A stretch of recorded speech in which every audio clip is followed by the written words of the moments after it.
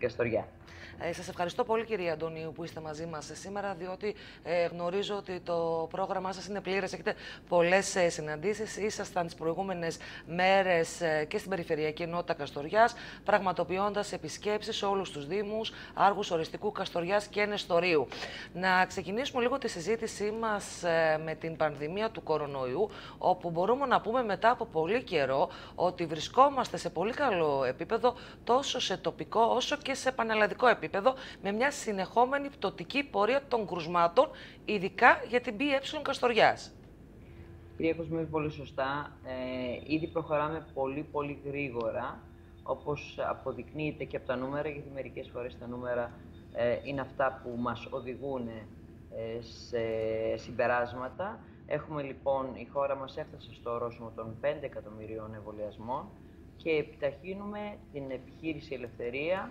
ε, όσο, όσο μπορούμε πιο γρήγορα, ανοίγοντας μεγάλα εμβολιαστικά κέντρα και διευκολύνοντας τη διαδικασία μέσω του uh, gov.gr, του εμβόλιο.gr, της uh, ψηφιακής μεταρρύθμισης που έχουμε στο κομμάτι αυτό της υγείας, έτσι ώστε ο κάθε πολίτης να ξέρει πού, πότε και ξανά πότε θα εμβολιαστεί. Ε, είναι λοιπόν όντως ε, αυτά τα, τα μηνύματα από, το,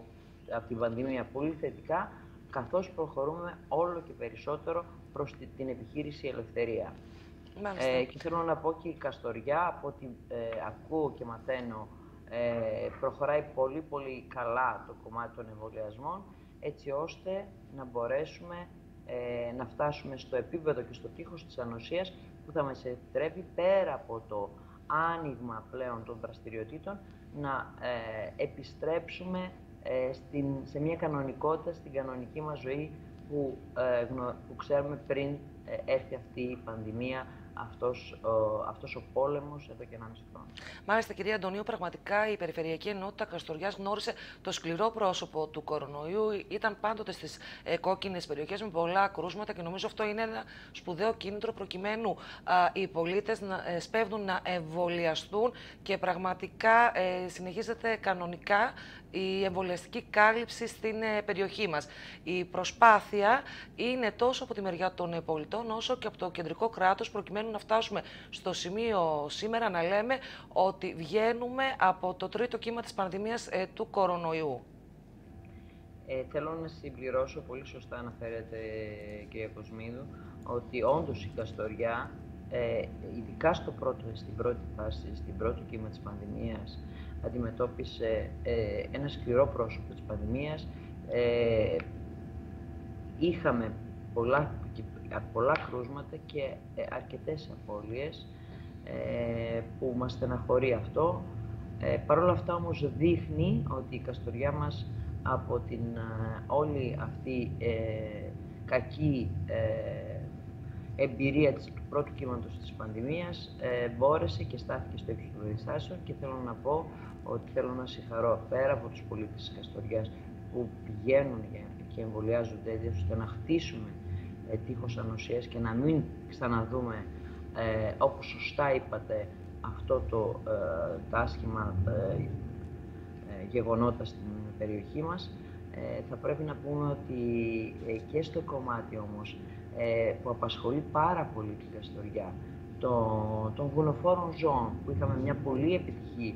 έκβαση ε, σε, στη διαχείριση αυτής της πανδημίας, ενώ είδαμε ε, κράτη που είχαν πολλά χρόνια εμπειρίας, όπως η Δανία, να αποτυχαίνουν να διαχειριστούν ε, και να φτάνουν σε σημείο να ε, θανατώνονται 17 εκατομμύρια ζώα.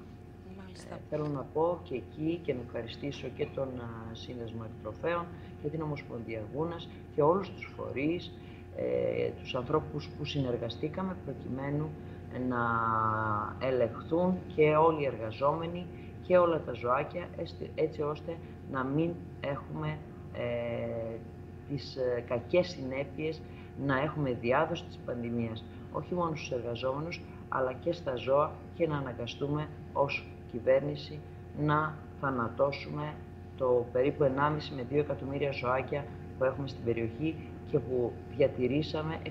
θέσεις εργασίας. Μάλιστα είναι πάρα πολύ σημαντικό. Μια, μια πολύ σημαντική επιχείρηση ε, και ε, μου δίνεται αυτή τη στιγμή το βήμα να ευχαριστήσω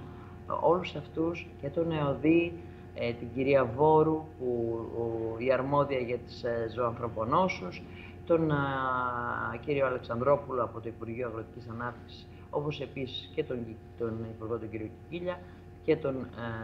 Υπουργό τον κύριο Βορύδη, τότε που διαχειριστήκαμε και την κυρία Ραμπατζή εκείνο, εκείνο το διάστημα όλη αυτή την κρίση, αλλά πρωτίστως τον Πρωθυπουργό που με δική του ε, έντολη και, και πρωτοβουλία ε, υλοποιήσαμε αυτή την επιχείρηση έτσι ώστε να διασώσουμε το ζωικό κεφάλαιο ε,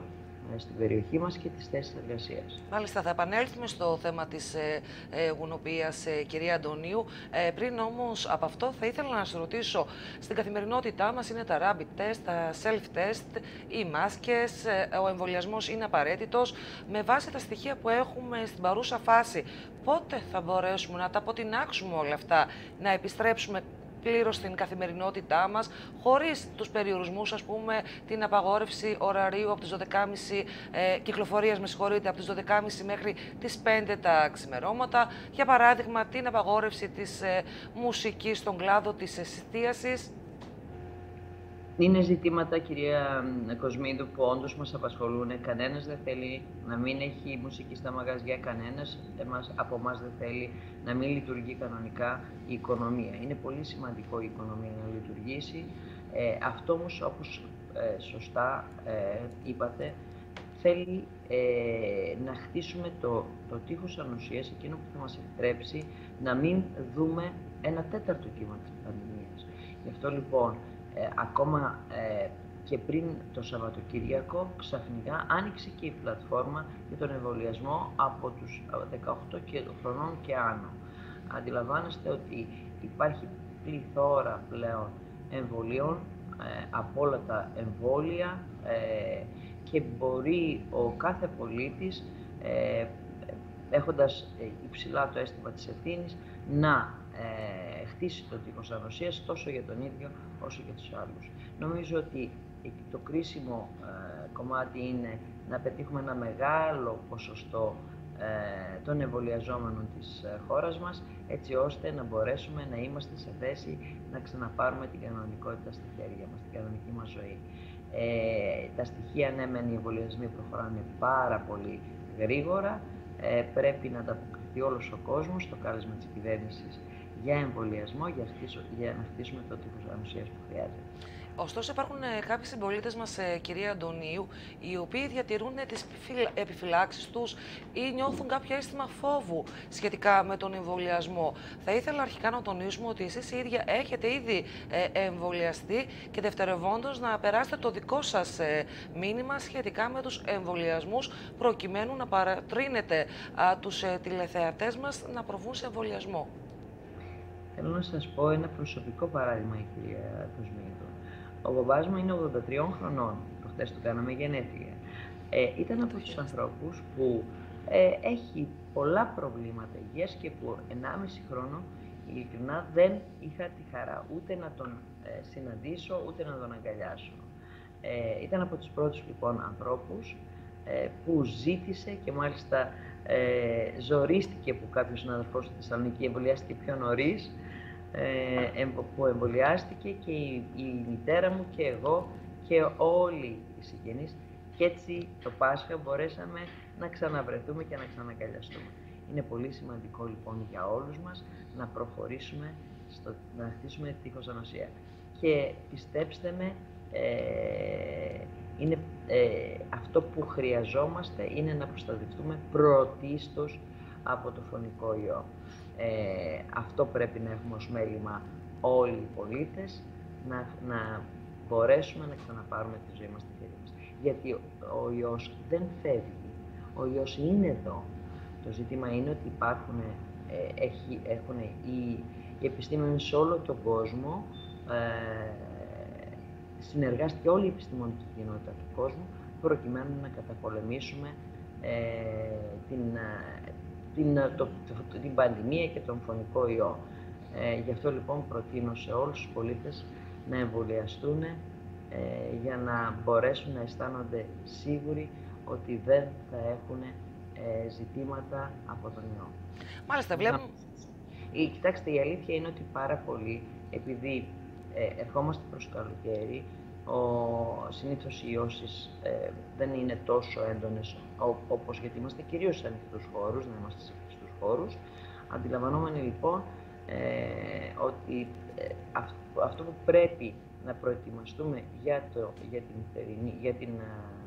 ε, για το φθινόπωρο είναι να είμαστε από τώρα έτοιμοι έχοντας χτίσει την αουσία μας. Μάλιστα και τώρα με το, τους θερινούς ε, μήνες, κυρία Αντωνίου, ημερολογιακός αύριο μπαίνουμε και επίσημα στο καλοκαίρι. Με το άνοιγμα του τουρισμού, τα πρώτα μηνύματα είναι θετικά. Βλέπουμε τους συμπολίτες μας στα νησιά να εμβολιάζονται. ωστόσο, πρέπει όλοι μας να παραμείνουμε προσεκτικοί.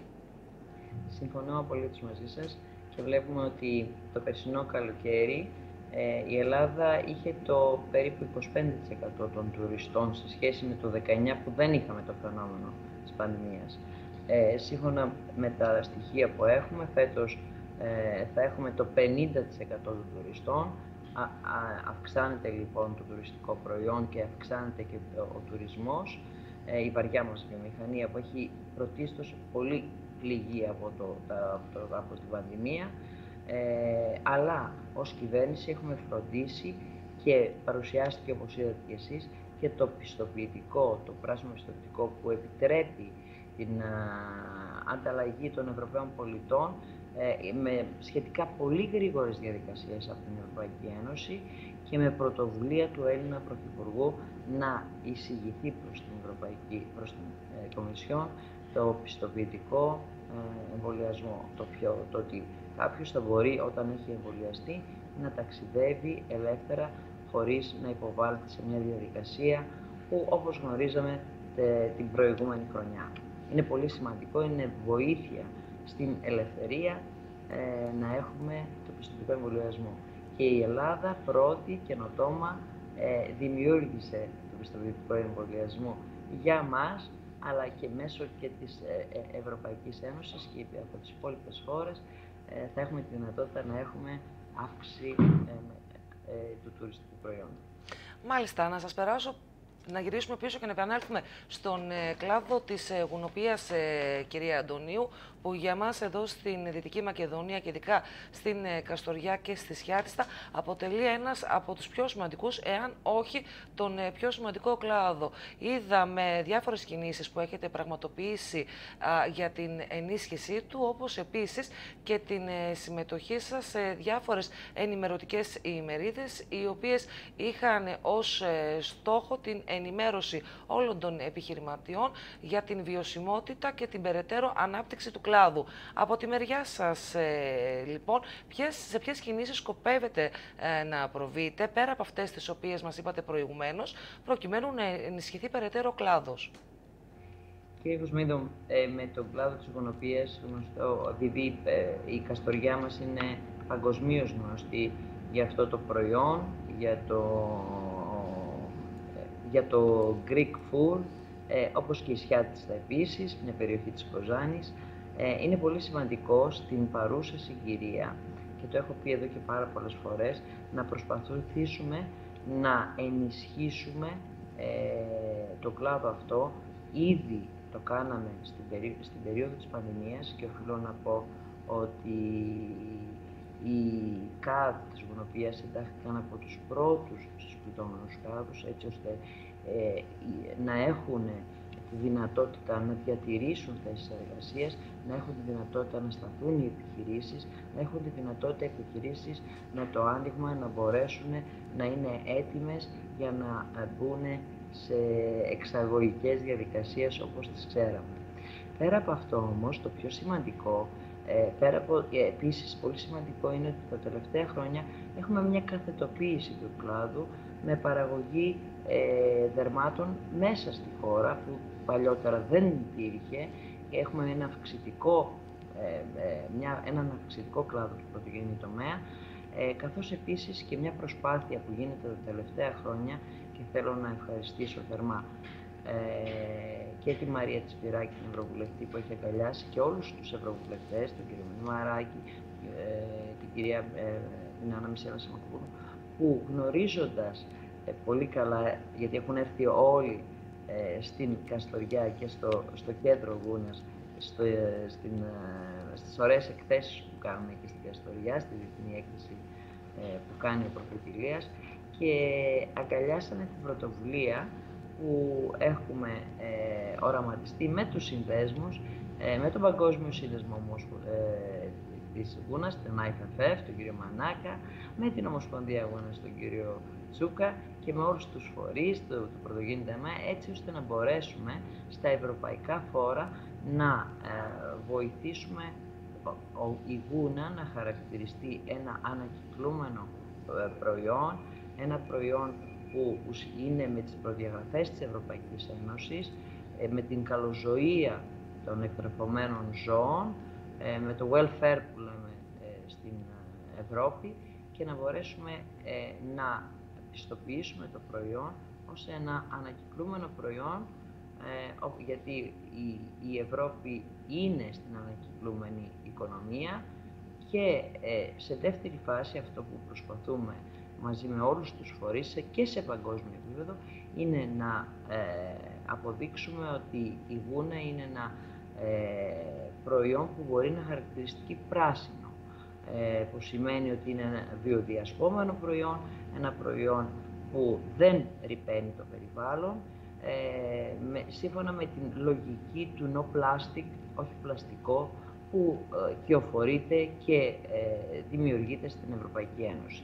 Είναι λοιπόν μια κατάλληλη ευκαιρία και πάνω σε αυτή την ευκαιρία είχαμε την ε, συζήτηση με ε, την Παγκόσμια Ομοσπονδία, μια διοργάνωση που ανέλαβε το Υπουργείο Εξωτερικών, το Enterprise ε, Greece, αλλά με, με την καθοδήγηση του αρμόδιου Υπουργού κ. Φραγκογιάννη για την οικονομική διπλωματία, που ήταν από τους πρώτους που επισκέφτηκαν, θέλω να πω, το γραφείο του Πρωθυπουργού εδώ στη Θεσσαλονίκη, το 19 όταν ανέλαβα, και που είχαμε μια πολύ καλή κουβέντα και βοηθάει έτσι ώστε να μπορέσουμε να, ε, μέσω ε, πλέον ε, με τη διαδικασία τη διαδικτυακή να συναντιόμαστε και να ε, κάνουμε προτάσεις και δραστηριότητες για να μπορέσει η Γούνα να συνεχίσει και να αυξηθεί ο εξαιρετικό μας αυτό κλάδο. Μάλιστα. Να παραπάνω. Πολύ σημαντικό θα ήταν, κυρία Αντωνίου, με συγχωρείτε που σας ε, διακόπτω, ε, για την ενίσχυση του κλάδου της ε, γουνοπία. Για παράδειγμα, η αναβάθμιση του αεροδρομίου της Καστοριάς, το οποίο, όπω γνωρίζουμε, είναι στα σχέδιά σας. Είναι στα 14 περιφερειακά αεροδρόμια. Πολύ σωστά. Μάλιστα. Οπότε θα ήθελα λίγο να μας ε, μιλήσετε για την αναβάθμιση του δικού μας αεροδρομίου, του αεροδρομίου της ε, Καστοριάς και εν συνεχεία να περάσουμε και στη σιδηροδρομική ε, γραμμή αλλά και στα υδροπλάνα, τα οποία όλα αυτά μαζί θα ενισχύσουν και το τουριστικό προϊόν της Καστοριάς. Κύριε Κοσμίνη, θέλω να πω ότι ε, στην ε, πρώτη μου κοινοβουλευτική θητεία, επί, στην κυβέρνηση Σαμαρά, είχαμε ε, τότε αποφασίσει να βάλουμε επενδυτές προκειμένου να εξυγχρονίσουμε τις πύλες εισόδου της χώρας μας. Γιατί μιλάμε για τουρισμό, μιλάμε για ανάπτυξη του τουριστικού μας, της βαριάς μας βιομηχανίας του τουρισμού, αλλά πολύ σημαντικό είναι το με το που θα φτάσει ο τουρίστας, όπως είδαμε το Ελευθέριο Βενιζέλο, που έγινε ένας, ένα αεροδρόμιο ε, εξαιρετικό, έπρεπε λοιπόν να μπούμε σε μια διαδικασία εξυγχρονισμού και των βασικών ε, αεροδρομίων, οι πύλες εισόδου της χώρας, τα 14 αεροδρόμια που πριν 15 μέρες είχαμε τη χαρά και την τιμή να είμαστε στα εγγένεια του νέου αεροδρομίου της Θεσσαλονίκης, του αεροδρομίου Μακεδονίας και που, στον εξυγχρονισμό και άλλων 13 ακόμα αεροδρομίων. Τώρα, αφού ολοκληρώσαμε λοιπόν ένα μεγάλο εγχείρημα ε, 440 περίπου εκατομμύρια ευρώ και έχουμε πλέον τη χαρά να ε, έχουμε ένα πολύ σύγχρονο αεροδρόμιο και στην ε, Θεσσαλονίκη, ε, πάμε λοιπόν στα υπόλοιπα αεροδρόμια, στις υπόλοιπες πύλες εισόδου της χώρας, μεταξύ των οποίων ε, και η Καστοριά είναι ένα σημαντικό, ε, σημαντική πύλη. Στην Καστοριά μας έχουμε πολλά πλεονεκτήματα, κυρία Κοσμίδου, τα οποία πρέπει όλοι μας ε, να ενισχύσουμε. Είμαστε, ναι, μεν ένας συνοριακός ακριτικός νομός, αλλά έχουμε ε, την οδοπία, έχουμε τον κάθε άξονα που φτάνεις πολύ γρήγορα. Τώρα, με τον ε65, το βόρειο τμήμα του ε65, που εντάχθηκες στο, είναι από τα πρώτα έργα, όπως και ο βόρειος οδικός άξονας της Κρήτης, έτσι και ο ε65 είναι από τα πρώτα έργα που εντάχθηκαν στο Ταμείο Ανάκαμψης, ε, πήραν τη χρηματοδότηση από το Ταμείο Ανάκαμψης, έτσι ώστε να, να ολοκληρωθεί λοιπόν το, και με τη σύραγγα της κλεισούρας που θα προχωρήσουμε, νομίζω ότι από τις οδικές υποδομές είμαστε ως περιοχή, θα έλεγα, πολύ ψηλά. Πάμε λοιπόν στις υπόλοιπες υποδομές. Οι υπόλοιπες υποδομές είναι το σιδηρομικρή σύνδεση της Καστοριάς μετά από πάρα πολλά χρόνια και ήδη ε, πέρασε από την Ευρωπαϊκή Επιτροπή η μελέτη ε, έτσι ώστε να μπορέσουμε να έχουμε τη βέλτιστη λύση με δεδομένο για την σύνδεση με την Αλβανία, με δεδομένο όμως ότι σίγουρα η Καστοριά θα είναι μέσα σε αυτή την, ε, την προοπτική. Με όποια από τις οδεύσεις ε, επιλεγεί από τους μελετητές, η Καστοριά μας θα είναι ε, θα, θα αποκτήσει ε, σιδηροδρομικό δίκτυο. Επίσης, έχουμε ένα αεροδρόμιο που σας είπα είναι στις προτεραιότητες της αμέσως επόμενης κυβέρνησης, τα υπόλοιπα αεροδρόμια για τον εξυγχρονισμό των υπόλοιπων αεροδρομίων ε, και θα προχωρήσουμε και στον εξυγχρονισμό του αεροδρομίου της Καστοριάς. Ε, στο βιο, βιομηχανικό μας πάρκο έχουμε ένα έτοιμο βιοπά που μπορεί να υποδεχθεί επενδυτές με πολύ χαμηλά ε, κόμιστρο, με δυνατότητα ε, έχοντας τα εξωτερικά και τα εσωτερικά δίκτυα, πολύ γρήγορα κάποιος επενδυτής να χτίσει και να δημιουργήσουμε θέσεις εργασίας. Ήδη υπάρχουν ε, επενδυτές που ενδιαφέρονται, μια που υπάρχει η δυνατότητα της ε, καθέτου της Αλβανίας και που γνωρίζοντας ότι θα έχουμε και συνδρομική και αεροπορική ε, εξυγχρονισμό της του αεροδρομίου μας. Είναι πολύ σημαντικά να δημιουργήσουμε τις υποδομές που χρειάζεται για να μπορέσουν να δημιουργηθούν και νέες θέσεις εργασίας. Όπως συμβαίνει και εδώ στη Θεσσαλονίκη, με, την, ε, με το άκουσμα και του εξυγχρονισμού του λιμανιού, αλλά και του αεροδρομίου Μακεδονίας, όπως και με, τον, με, τον, ε, με το flyover, το οποίο προχωράμε και θα έχουμε ανάδοχο μέσα στο 2021, ε, βλέπουμε ότι το ενδιαφέρον των ξένων επενδυτών είναι πολύ πιο έντονο ε, γιατί δημιουργούνται οι κατάλληλες υποδομές για να μπορέσουν να αναπτυχθούν επιχειρηματικά. Μάλιστα, είναι πολύ σημαντικά τόσο μας είπατε, ε, κυρία Αντωνίου, και συνάμα πολύ ευχάριστα. Κλείνοντας ε, λοιπόν ε, τη συζήτησή μας, θα ήθελα λίγο να μου πείτε σύντομα ε, τα όσα συζητήσατε με τον Υπουργό Ψηφιακής ε, Διακυβέρνησης τις προηγούμενες ημέρες, τον κύριο Κυριάκο Πιερικάκη. Ποια ήταν τα σημαντικά θέματα που θέσατε επιτάπητος. Διότι γνωρίζουμε πάρα πολύ καλά ότι η τεχνολογία και εξαιτίας της πανδημίας του κορονοϊού έχει μπει για τα καλά στην καθημερινότητά μας. Ε, θέλω να πω ότι με τον κύριο Πιερακάκη έχουμε ε, ξανακάνει πολλές συναντήσεις ε, τον Κυριάκο τον Πιερακάκη, τον Υπουργό Ψηφιακής Πολιτικής και έχουμε συζητήσει και θέματα που αφορούν τον τομέα που εγώ ε, έρευνα, τεχνολογία και ανατομία ε, και ε, έχουμε αποδείξει αυτό το Υπουργείο Ψηφιακής Πολιτικής ότι ο εξυγχρονισμός του κράτους πράγματα που περιμέναμε χρόνια και χρόνια έγιναν πάρα πολύ σύντομα. Πλέον μπορούμε να ε, μέσα από, την, από ηλεκτρονικές πλατφόρμες να έχουμε π.χ. τον εμβολιασμό μας, να έχουμε πιστοποιητικά που κάνουμε πάρα πολλές μέρες να τα βγάλουμε, να έχουμε τη δυνατότητα να έχουμε την άειλη θεογράφηση ε, πάνω σε ένα κινητό, πάνω σε ένα λάπτοπ και πολλά άλλα πράγματα. Ο ψηφιακός μετασχηματισμός της Ελλάδας μας πάει μπροστά. Είμαστε ειλικρινά πρωτοπόροι ε, σε αυτό το κομμάτι και όπως από το Ταμείο Ανάκαμψης ε, θα δημιουργηθούν επίσης πολλές προοπτικές ε, για να ε, εξυγχρονιστούμε ψηφιακά όπως και το 5G που θα δημιουργήσει πολλές θέσεις εργασίας σύμφωνα με μια μελέτη του, που έχει εκπονηθεί. Ε, με τον κύριο Πιεραγάκη λοιπόν συζητήσαμε τον ψηφιακό εξυγχρονισμό ε, όλης της Βόρειας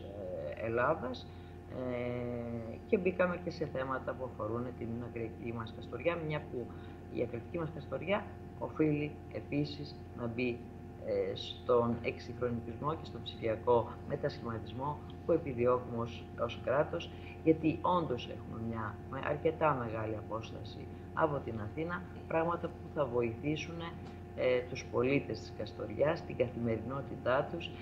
Ε, να, να αναφέρω ένα χαρακτηριστικό παράδειγμα, αυτό που κάναμε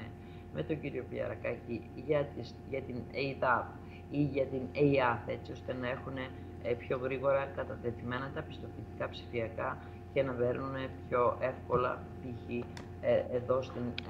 ε, ΕΙΑΘ Θεσσαλονίκης. Μπορεί αντίστοιχα να γίνει και στην αντίστοιχη υπηρεσία ε, στις υπηρεσίες της Καστοριάς. Μάλιστα. Κυρία Αντωνίου, σας ευχαριστώ πάρα πολύ για το χρόνο σας. Και εγώ σας ευχαριστώ, ε, κυρία Κοσμίδου. Ε, ξέχασα να αναφέρω για το επόμενο Σαββατοκύριακο που είχα την, το Σαββατοκύριακο που μας πέρασε και στις επισκέψεις που κάνουμε στην Καστοριά ε, να συνδεθώ με τους διοργανωτές του 8ου Greece of Road ε, του Ράλι και που το επόμενο Σαββατοκύριακο θα πραγματοποιηθεί στην ε, Καστοριά, στην πόλη του Άργου Στοριστικού και από ό,τι ε, γνωρίζω θα έρθει και ο Υφυπουργός, ο κύριος ε, Λευτέρης Αυγενάκης, ε, προκειμένου να είναι σε αυτό το, ε, τη διοργάνωση και ε, με τον κύριο Αυγενάκη προχωράμε επίσης αναπτυξιακά project της Καστοριάς, όπως είναι το, το κομμάτι του ναυτοθλητικού. Είναι μια δέσμευση του Πρωθυπουργού και ε, περιμένουμε την ορίμαση των μελετών από το Δήμο Καστοριάς, μια που ολοκληρώθηκε το Master Plan, έτσι ώστε να μπορέσουμε να εντάξουμε στο Ταμείο Ανάκαμψης, είναι μια χρυσή ευκαιρία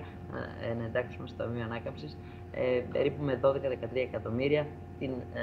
ανάπλαση όλου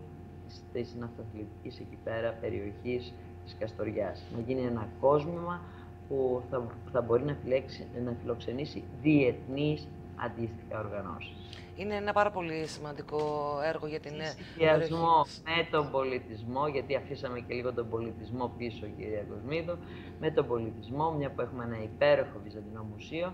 ε, είναι ε, ευκαιρία ε, και θέλω να ευχαριστήσω τη Λίνα τη Μεντώνη, αλλά προς τη, ε,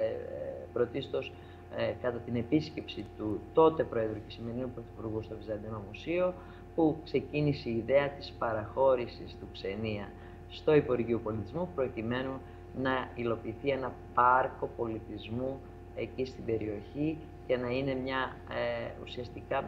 μια περιοχή που θα έχει πολύ προστιθέμενη αξία προς τους ε,